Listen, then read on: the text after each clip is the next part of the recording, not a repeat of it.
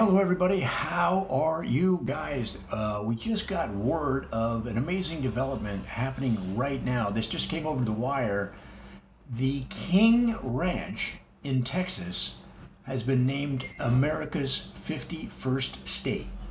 Now, Texas's King Ranch spreads over 825,000 acres in the Wild Horse Desert of South Texas, which is larger than the state of Rhode Island. Today, President Trump commemorated the ranch as the 51st state in the Union, leaving Rhode Island, of course, still the smallest state. The King Ranch was established in 1853 when Richard King asked if he could buy the massive area around a creek fed spring in the middle of the desert. State officials said at that time, heck, why not? Nobody else wants it.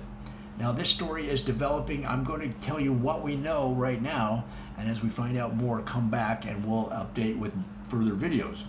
Now, Captain King was a riverboat captain and businessman. He was born in New York City. As a young boy, he showed signs of future ambitions when he offered to buy Manhattan for 35 Topps baseball cards in a Coke bottle he found in Brooklyn. He ran away from the, uh, home at the age of 11 and show, uh, stowed away on a ship heading to Mobile, Alabama. Quickly discovered, the crew decided to teach him how to sail, and by the end of the trip, he was named captain. Only a few years later, he appeared uh, on Dancing with the Stars as one of the celebrities that you've never heard of before. He and his partner Cheryl Burke went all the way to the finals but lost to Derek Hough and Alexandria Ocasio Cortez, who wowed the audience with a sizzling Spanish waltz that went out into the street and ended up at a local taqueria, taqueria five miles away. The King Ranch was the trailhead of dozens of famous cattle drives, including the ones pictured in Lonesome Dove, one of the most successful TV miniseries of all time. The TV show was shot in real time in the 1800s using crude cameras made of cowhide and spare saddle parts. Lonesome Dove cast members, including Robert Duvall, Diane Lane, and Tommy Lee Jones, remain some of the oldest living movie and TV stars in Hollywood today, each upwards of 125 years old. Captain King and his partners were the dominant riverboat company on the Rio Grande for over 23 years, starting in 1850. The partnership dissolved as their eyesight diminished and they crashed several riverboats into tourist traps along the Texas Mexican border. King fled the ranch as Union troops moved in during the Civil War, heading to Matamoros, Mexico, until he gained amnesty and returned in 1865.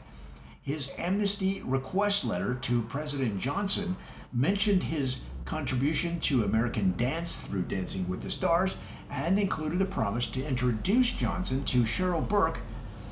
Uh, to, to Cheryl Burke.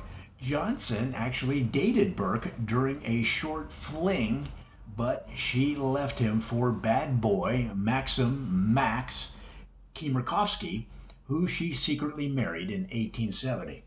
So a lot of history, and of course, this ranch has uh, always been one of the prominent features of, of Texas because of its huge size and, and in fact, defined American ranching for generations, including, of course, as we mentioned, being the source of some of the biggest cattle drives in American history an amazing development. Uh, the United States now has a 51st state that is actually located inside of Texas, which uh, again uh, shows evidence uh, that everything actually is bigger in Texas.